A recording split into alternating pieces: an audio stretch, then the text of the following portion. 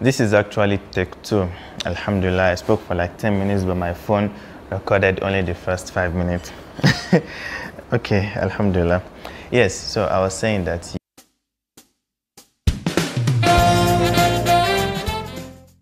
Evet arkadaşlar, merhabalar. Nasılsınız? Türkçe nasıl? Kolay mı? Zor mu? nasıl gidiyor? Güzel. Sınav nasıl geçti? I hope you guys can understand. I believe by now you should have completed the first level, the A1 level. So I believe these are basic dialogues you must have learned in class. How was your exam? Uh, please leave a comment below. How has it been so far learning Turkish? Okay, in this video, inshallah, I want to quickly go over just two main things that I feel uh, I should let you know. It would be good if you can do them during Tomer. Uh, so the Tomer period is a very good time and I would say personally that it is, the, it, is, it's going, it is going to be your best time in Turkey. Why? Because you are in, you are in, a, in an international environment with friends from all over the world. You get to meet them, you get to practice a new language together, you get close with your teachers, you know, you are very few in class. In engineering, we were like over 100 uh, in year one. So there's nothing like one-on-one connection with the teacher except, you know, you take extra effort to go to their offices and discuss with them. In Tomer, you know, you know everybody, you know their names, you know those who can speak very well, those that cannot speak very well. It's a very good time. And if you are in some good Tomer centers, you, they take you out, you go on trips.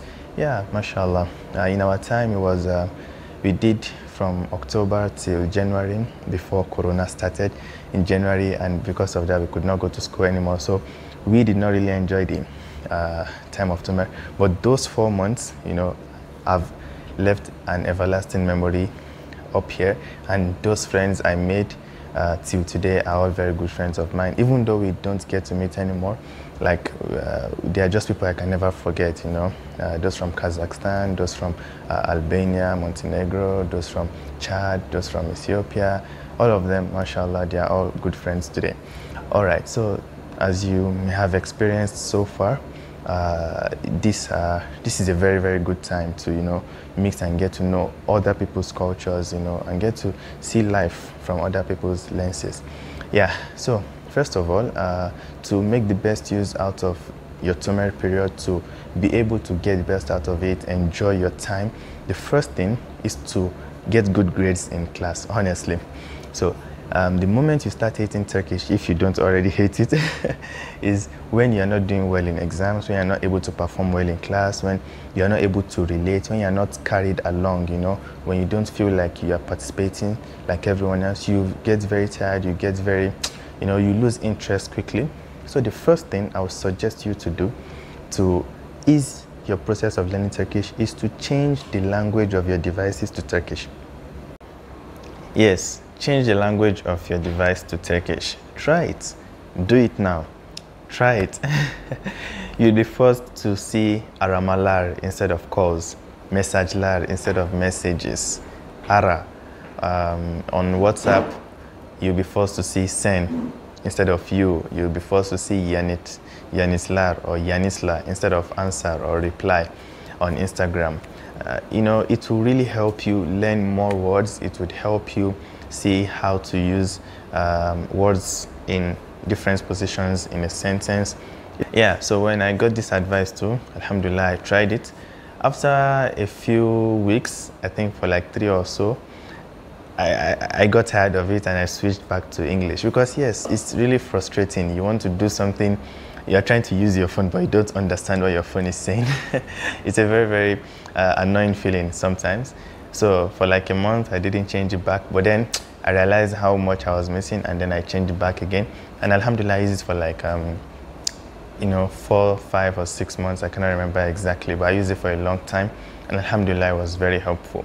Now, there are other things you could do, of course, to help you learn the Turkish faster. They have made a full video on that to have a positive mindset about it, to you know watch videos without English captions or if, or with Turkish captions only, and um, you know read the lyrics of music, not just listen. I think it is you reading the lyrics to understand how the words are played with that will help you understand the language more.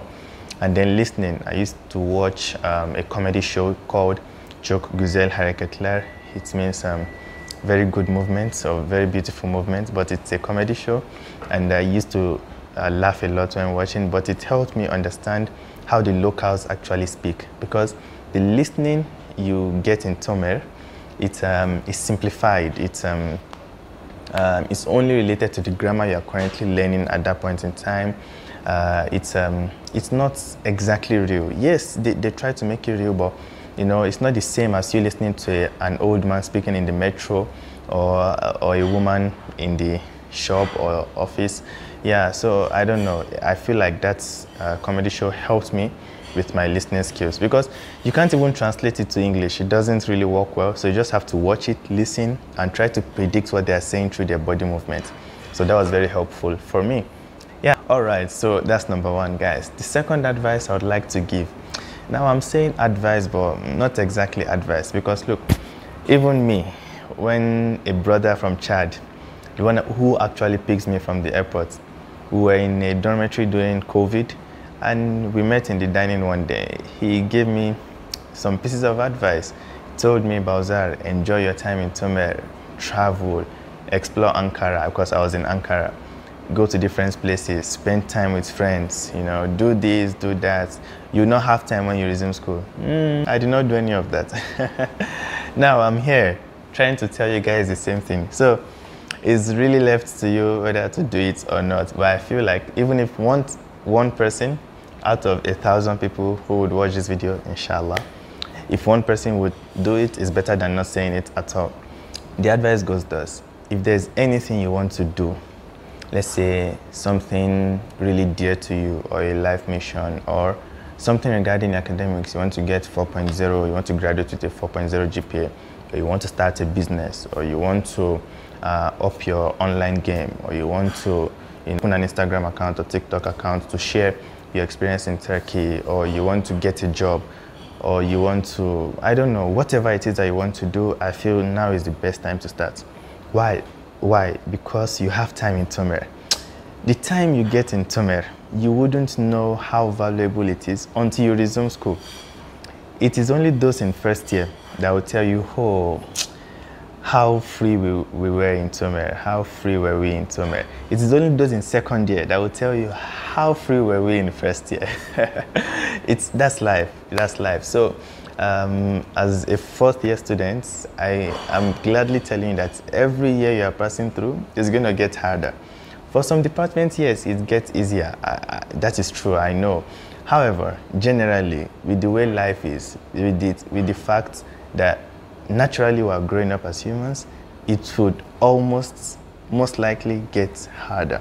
So your summer time is the best time you can link up with as many people from different countries as possible. By the time you resume school, you'll be just three or four international students in your class with um, 80, 90, 100 and more Turkish students. Uh, it is the only time you end finish class at, is it 12 in some schools, 1 o'clock or 3 o'clock? whatever it is, it is early. So the point is, whatever you want to do, start now. And what I mean by starting is actually learning how to do it. Say you, say you want to start a YouTube channel like me. You can start learning how to edit videos, how to talk, how to you know, play with camera movements and all that. Say you want to start a business, import and export. You're in Istanbul, you see that yes, there's a big opportunity here. If I sell these materials back at home, I can make some good money. Or if I do this, if I do that, it will help a lot. Please ask, go there, try to discuss with them. If you are planning to do your research, you are a master's student, a doctoral student, try to go to your department. Make friends with your teachers, your lecturers. Find the ones that speak English if you want to do your research in English. Try to discuss with them, see what they are interested in, and see how they can become your supervisors, you know. Ha, um, if you are looking to uh, get a job, you know, how can you get a work permit here or what are part-time job opportunities here? How can you start teaching English if you know English or Portuguese or French or whatever languages you know? How can you tap into those opportunities? Because now is the best time to start.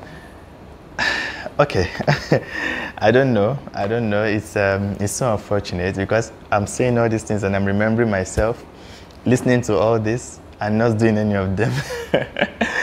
see, that time I was like, man, when I have Netflix, actually YouTube, not even Netflix, and I have um, unlimited Wi-Fi, why would I stress myself? Life is good. So I was relaxed. I did all that. Anyways, if you can relate to this, please leave a comment. If there's something you want to do, leave a comment. And um, I hope this is very, very helpful. So these are two pieces of advice I really wanted to share with you guys.